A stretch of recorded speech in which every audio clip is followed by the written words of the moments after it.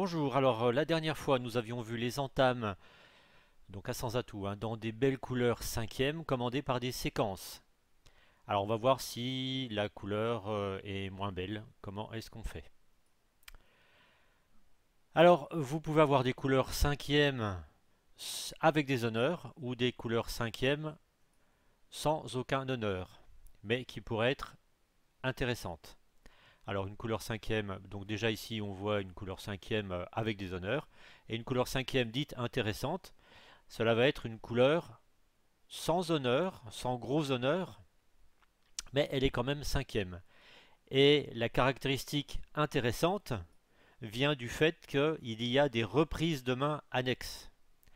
En effet, vous allez Enfin, le principe à sans atout, c'est une espèce de course de vitesse entre vous, adversaire, et votre adversaire, le déclarant. Et il va s'agir de faire euh, vos levées les plus rapidement possible, et de préférence dans vos longues. Donc là, vous entamez carreau, et vous avez quand même potentiellement une, deux, allez, trois, voire même quatre reprises de main en sud, de façon à pouvoir continuer à jouer carreau dans l'espoir d'affranchir votre longue à carreau. Vous pouvez également espérer que votre partenaire a quelques petits honneurs complémentaires de façon à jouer carreau le plus rapidement possible. C'est une course de vitesse. Alors bien évidemment, je dis couleur cinquième intéressante, euh, mais sixième c'est pas mal non plus. Hein. Donc une couleur sixième avec des honneurs ou sixième sans honneur mais intéressante, c'est-à-dire avec pas mal de reprises de main, cela va très bien également. Alors on n'a pas toujours le bonheur d'avoir des couleurs cinquièmes et donc il faudra se rabattre sur des couleurs quatrièmes, alors comme d'habitude des couleurs quatrièmes avec honneur, comme par exemple ici, roi 10, 8, 7, ou bien des couleurs quatrièmes intéressantes, donc avec la même définition. Voici une couleur quatrième intéressante et qui est euh, entourée de couleurs avec des reprises de main. Alors, on va voir dans ces cas-là, qu'est-ce qu'il faut faire? Eh bien, on va entamer de la quatrième meilleure. Alors, euh, la quatrième meilleure, c'est-à-dire qu'on compte la quatrième carte en partant de la plus forte. Alors, par exemple, dans le cas d'une couleur cinquième avec honneur, vous allez entamer du 7. Hein, on compte 1, 2, 3, 4.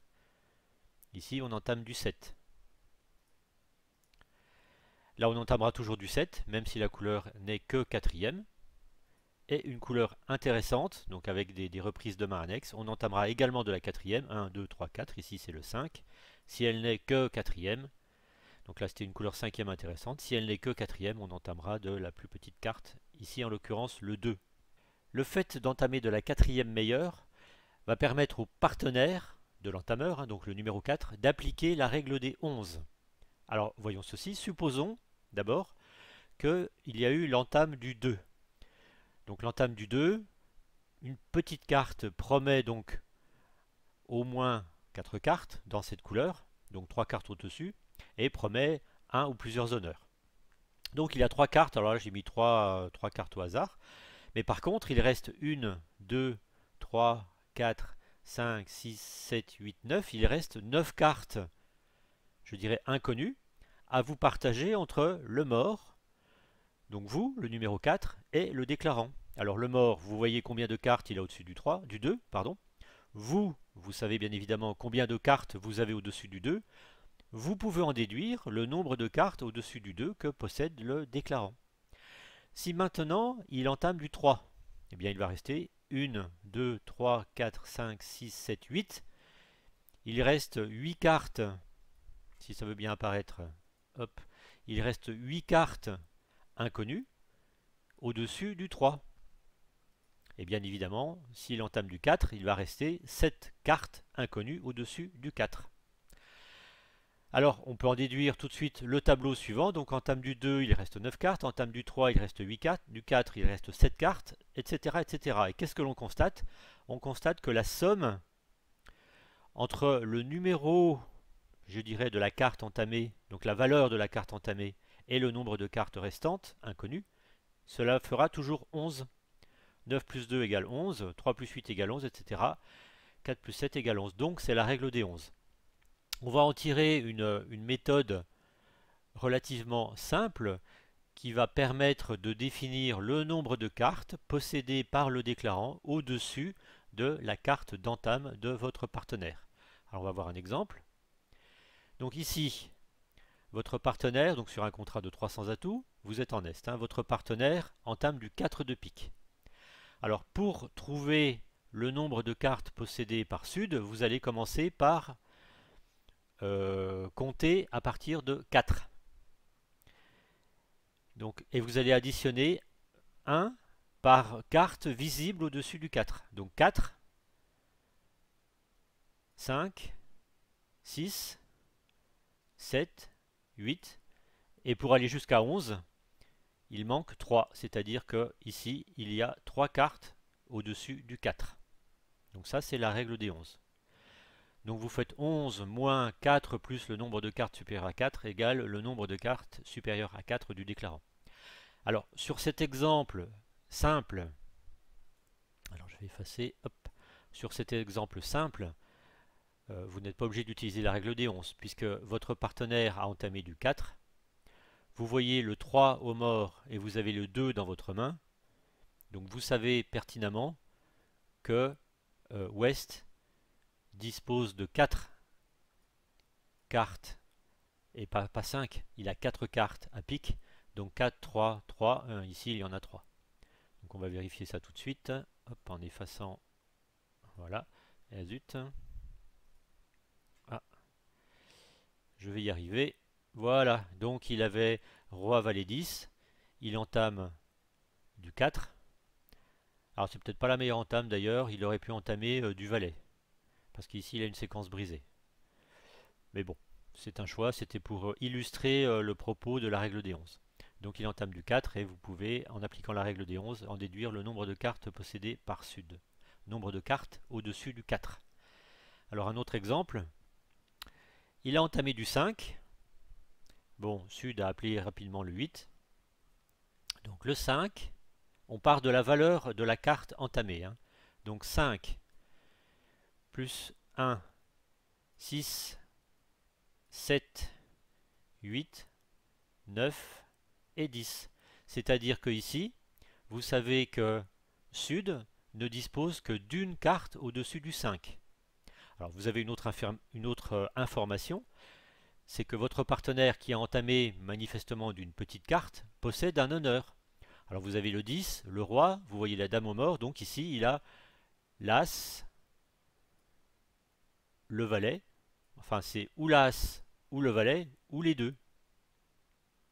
Mais par contre, vous savez que Sud possède également, enfin il possède une carte au-dessus du 5. La question c'est, est-ce qu'il a l'as, est-ce qu'il a le valet, ou est-ce qu'il a une petite carte? Parce que là au-dessus du 5, il reste par exemple le 6, ou le 7. Donc les questions, vous avez la question est-ce qu'il a l'As, le Valet, le 7 ou le 6 Ce sont les seules cartes au-dessus du 5 possédées par Sud. Alors, fort de cette information-là, quelle carte allez-vous passer? Donc je vous laisse réfléchir. Et pour vous aider à choisir, alors je dirais que si c'est l'As, il suffit de mettre le 9. Si c'est euh, le 7 ou le 6, eh bien vous allez prendre du roi et vous, avez, vous allez relancer euh, pique pour l'as de votre partenaire sur lequel euh, la dame va s'effondrer, va s'écraser plutôt. Si c'est le valet, bah, vous ne risquez rien à passer le roi. Parce que là, la question, vous pouvez vous poser la question d'ailleurs de comment réagiriez-vous sur cette entame si vous étiez en sud? Alors il faut savoir que, enfin il faut savoir, il faudra revoir les, exemples que j'avais donnés euh, sur le plan de jeu à sans atout.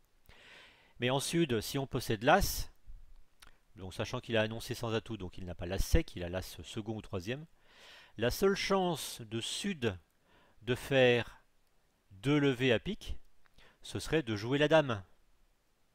C'est-à-dire d'espérer le roi en ouest. Or, il n'a pas passé la dame, donc il n'a pas l'as. Voilà le raisonnement que vous devez tenir.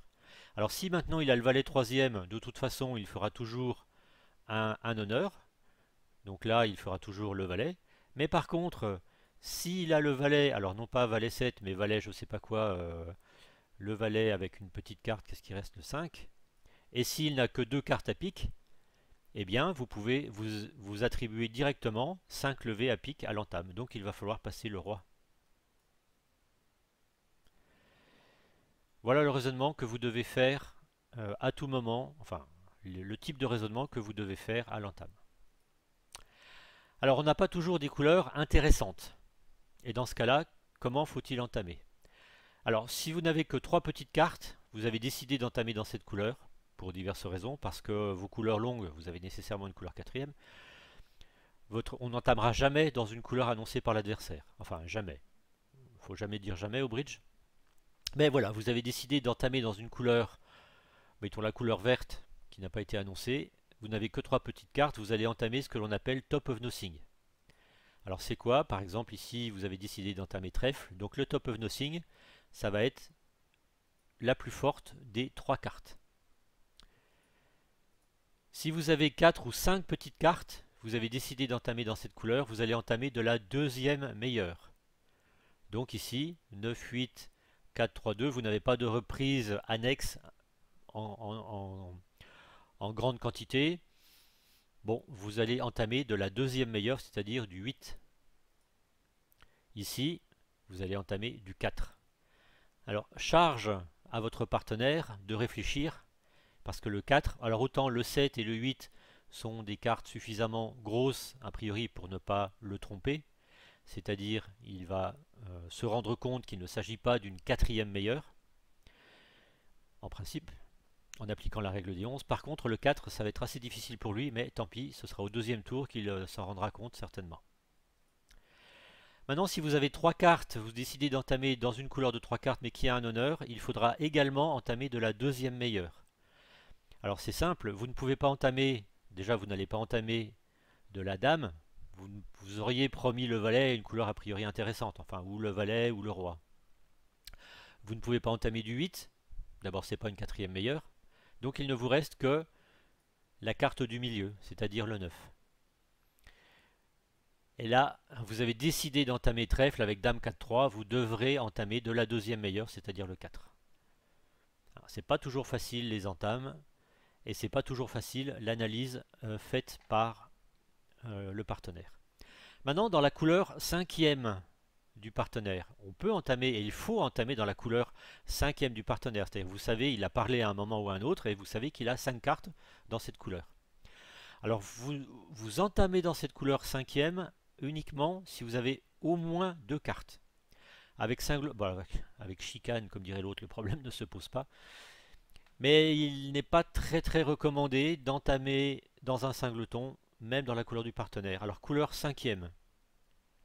Alors maintenant si la couleur est sixième ou septième ou plus, eh bien il faudra entamer malgré tout dans la couleur de votre partenaire en espérant qu'il ait quelques reprises de main annexes. Et on va entamer, alors dans la mesure du possible, si vous êtes singleton, bah, de toute façon il n'y a pas le choix, vous entamez en respectant les règles de parité. C'est-à-dire, si vous avez un nombre impair de cartes, alors j'aurais pu rajouter, de toute façon 1, vous n'avez pas le choix. Mais je vous rappelle quand même que euh, si c'est une couleur cinquième, si vous n'avez pas la connaissance de 6 cartes, en principe on n'entame pas avec un singleton. Donc il faudra faire la, euh, enfin, les, le seul, les seules possibilités avec un nombre impair c'est 3 ou 5. Donc là c'est très simple, eh bien vous entamez de la plus petite de vos cartes. Ici en l'occurrence le 8. Donc petite carte, nombre impair. Alors la notion de petite carte est très très relative. Là ici vous voyez le 8 c'est quand même très difficile de définir le 8 comme étant une petite carte. Bon maintenant votre partenaire en a 5. Le déclarant qui a annoncé sans atout en a probablement 2 euh, ou 3 minimum, donc quelques grosses, et à la vue du mort, votre partenaire devrait a priori pas trop se tromper sur euh, votre teneur dans cette couleur enfin le nombre de cartes que vous avez dans cette couleur. À la limite, ce sera au deuxième tour que euh, bah, vous mettrez une carte plus grosse, le 9 ou la dame, ce qui lui permettra de détecter le nombre de cartes que vous avez. En principe. Encore une fois en principe. Parce que une grosse carte, montre un nombre pair. Alors, si vous n'avez que deux cartes, vous devez entamer de la plus grosse, la dame. Si vous avez donc quatre cartes ou plus, il faut entamer de la deuxième meilleure, c'est-à-dire ici le 9. Contrat de 300 atouts joué par Sud et entame 3 de carreau. Donc sur le 3 de carreau, petite carte, vous pouvez supposer que c'est au moins une quatrième meilleure. Il manque le 2, il est possible que votre partenaire ait 5 cartes à carreau. Donc là, vous appliquez la règle des 11 en partant du 3. Donc 3, 4, 5, 6, 7, 8, 9. Vous savez que Sud possède deux cartes au-dessus du 3. Alors comment on va jouer Sud? Il appelle le petit 4 alors les deux cartes au-dessus du 3, vous ne savez pas trop ce que c'est. Vous savez par contre que votre partenaire a un honneur, plus. C'est-à-dire il a soit la dame, soit l'as. Alors là, il faut réfléchir un petit peu. Euh, si vous passez le roi, vous allez libérer le valet. Donc, on va passer le 10. C'est pris par la dame de sud vous en déduisez instantanément que votre partenaire possède l'as. Sud poursuit en faisant l'impasse à cœur, vous prenez du roi, et donc, ayant connaissance de l'as de carreau en ouest, vous allez rejouer carreau, et vous allez rejouer carreau en débloquant la couleur, c'est-à-dire vous allez jouer le roi de carreau. Petit carreau, et vous continuez carreau, vous allez rendre la main à votre partenaire, et là, cette fois-ci, vous avez confirmation du fait qu'il en avait 5. Il prend de l'As. Et on va voir donc, effectivement, il va pouvoir faire deux levées de carreaux qui sont devenus maîtres car affranchis. Modifions cette fois-ci l'entame. Votre partenaire entame du 7 de carreau. Vous faites toujours la règle des 11. 7, 8, 9, 10, 11. A priori, euh, votre partenaire, enfin plutôt Sud, n'a aucune carte au-dessus du 7. Ce qui veut dire que votre partenaire aurait As, Dame, 9, 7. Alors, c'est pas très courant, sauf si c'est cinquième. Alors on va voir. Donc le, déclarant appelle toujours le 4, vous passez toujours le 10, et Sud met la Dame. Comme il met la Dame, vous en déduisez que le 7 ne peut pas être une quatrième meilleure, c'est donc un top of nothing. Il n'a strictement rien d'intéressant à carreau. Sud continue toujours avec l'impasse cœur. Euh, oui, il y a une erreur là. Il passe petit cœur, hein. c'est pas grave. L'impasse cœur qui rate. Donc maintenant, à vous de contre-attaquer. Donc carreau ne sert à rien. Trèfle, ce n'est pas très encourageant quand on voit le roi de trèfle ici en or. la seule chance finalement que vous avez de faire euh, 4 levées pour faire chuter l'adversaire, c'est de développer les pics. Donc vous allez contre-attaquer pic. Donc petit pic, prix de volet, etc. Et effectivement, quand on voit les 4 jeux, effectivement, c'est la contre-attaque pic qui est intéressante. vous noterez, pardon, vous noterez que votre partenaire a entamé donc de la deuxième meilleure euh, dans une couleur inintéressante.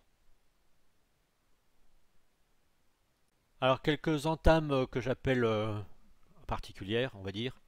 Alors quand l'entame est de la plus petite carte visible, on a eu l'exemple tout à l'heure, c'est-à-dire votre partenaire avait entamé du 4, il y a le 3 au mort et vous avez le 2. Donc là, vous êtes sûr et certain que votre partenaire ne possède que 4 cartes dans cette couleur. Donc quand vous faites votre plan de jeu en défense, parce qu'en défense on fait un plan de jeu, donc il faudra vous dire que il est quand même fort peu probable que vous ayez 4 levées dans la couleur. Le déclarant ayant en principe entamé, euh, ayant annoncé sans atout, devrait avoir un arrêt dans cette couleur. Donc vous allez faire au mieux, on va dire, 3 levées. Euh, il va falloir regarder les couleurs annexes pour assurer la chute au palier de 300 atouts. Et il pourra être urgent de contre-attaquer euh, plutôt que d'épuiser vos trois levées et vos euh, reprises de main entre vous et votre partenaire dans les autres couleurs. Donc euh, bien faire, bien penser à faire son plan de jeu dans le cas où la, la carte entamée est la plus petite. L'entame du 9. Alors, je vous laisse réfléchir sur le sujet et voir tous les cas de figure. Mais l'entame du 9 n'est jamais, jamais une quatrième meilleure. C'est toujours un top of nothing.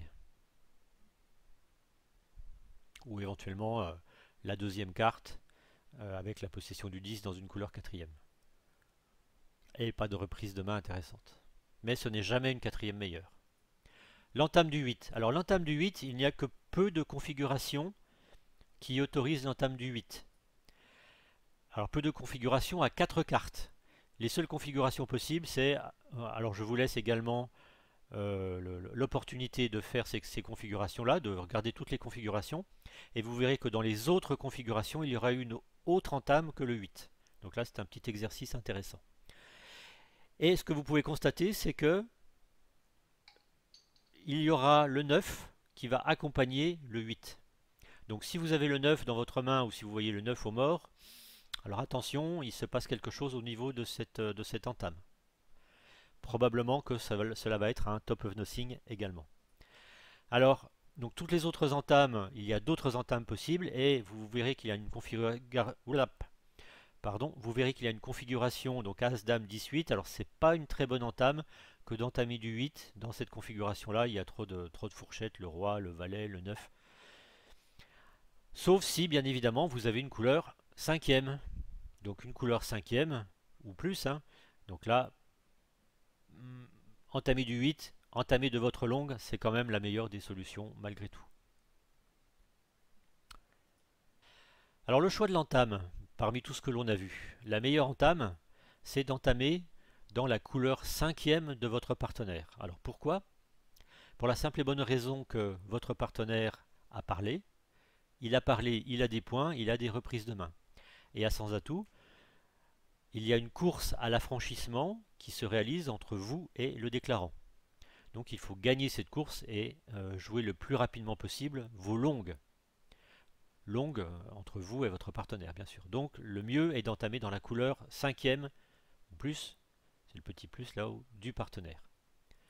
Après, c'est votre propre couleur cinquième qui va devenir intéressante. Alors comme on a vu, Couleur cinquième, belle couleur cinquième commandée par trois honneurs, donc ça c'est le top.